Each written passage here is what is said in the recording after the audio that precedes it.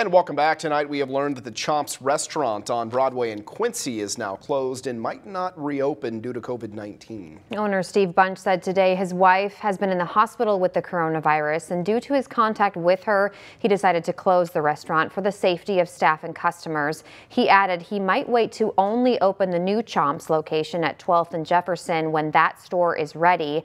Bunch says he will quarantine and wait for his test results before he considers reopening. Oh.